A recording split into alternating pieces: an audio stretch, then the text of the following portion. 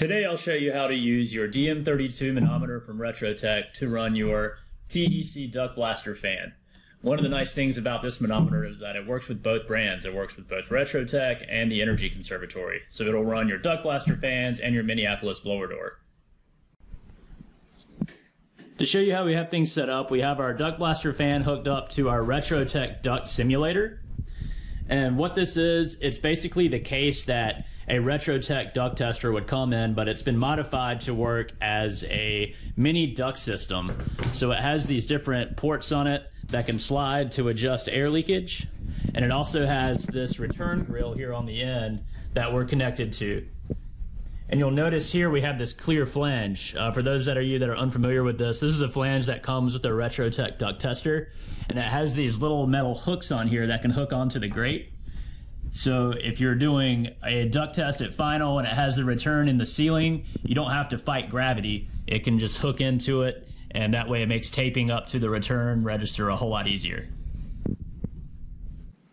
First off, a little bit about the gauge. You'll notice here on the top on the ports that each port is color coded.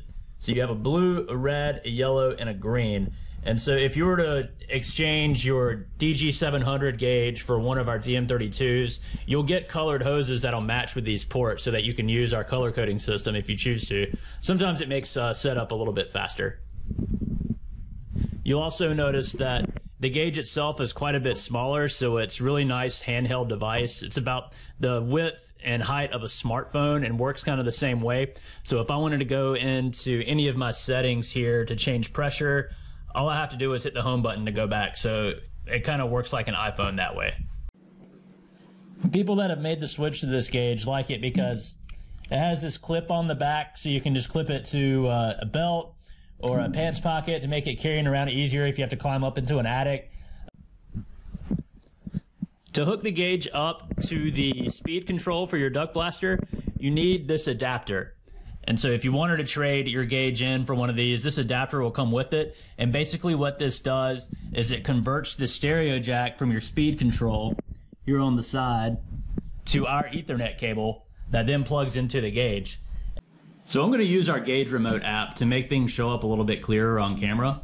So you can see here that this app basically just mirrors the screen from the gauge on your device. You can use a phone or a tablet, Apple or Android, it'll work with anything. Uh, that way you can test remotely from anywhere in the house. So if you're looking for leaks in an attic or a crawl space, this makes life a lot easier. So you can see here we have a picture of a Retrotec duct tester. We want to change that because we're going to use the duct blaster fan from TEC so you just tap on the picture, change device, then you can scroll down. MNDB, that's Minneapolis Duct Blaster. We'll select that. Then you can change your ring setting. So I have it on ring three. So I will select that. And now we're set up to test. And so to set your pressure, all you have to do is set pressure. Anytime you want to change a setting, whether it's fan speed or pressure, it always pulls up this keypad. That way you can customize your testing. So if you know on your uh, DG700, it has at 25 or at 50. On this gauge, you can do at whatever pressure you want.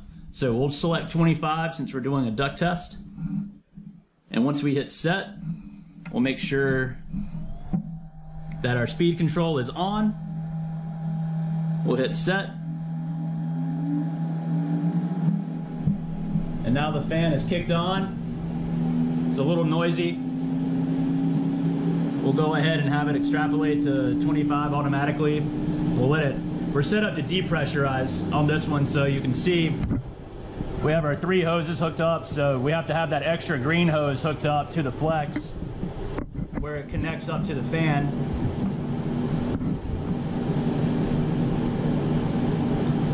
So we'll let it get there. so about 67 CFM leakage is what we're seeing.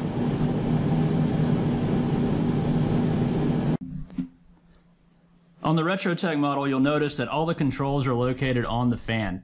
So you'll notice that there's no separate control module to keep up with. And then once you set the pressure on the gauge, those are your controls on the gauge itself. So once you hit set pressure and test, it'll run the test automatically as we saw previously. Power cable just snaps right in. There's no nut or anything that you have to tighten down. And like I mentioned earlier with the color coding, green goes to green, yellow goes to yellow. So with the Retrotec duct tester, it's a lot easier to change it from pressurized to depressurized or the other way around due to this quick connect collar. So all you do is slide it off, spin it around,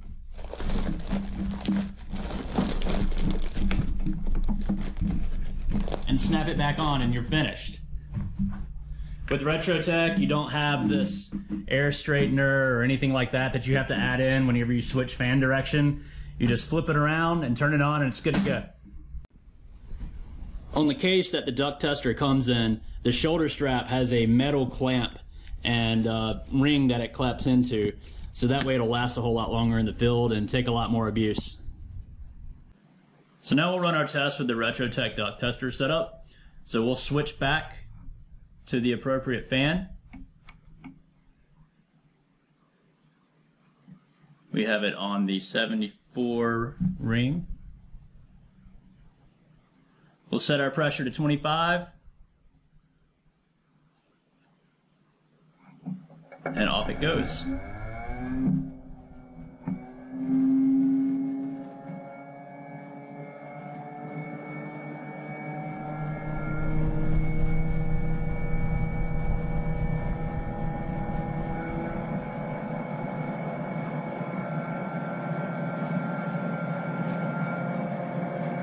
And one thing you'll notice about this fan is that it's, it's a lot quieter. So that way you're not having to yell over it to speak to a client to understand, to have them understand what's going on.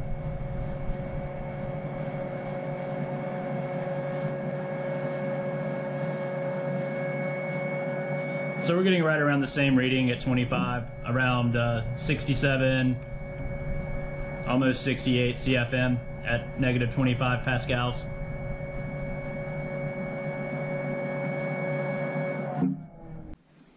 So there you have it, a quick demo on how to use the DM32 gauge with both a uh, TEC duct blaster and the Retrotec duct tester. If you have any questions about anything, uh, reach out to us at retrotec.com. Thanks.